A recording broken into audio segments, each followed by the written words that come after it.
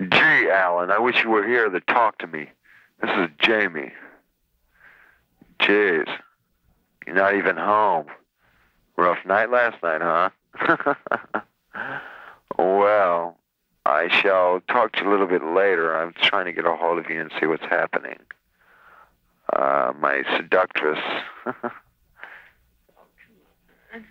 or my whatever mistress is whipping me to death here. No, not really. But anyhow, uh, I'll talk to you later. I'm whipping her with my thing. Okay. I'll talk to you later, Tom. Bye.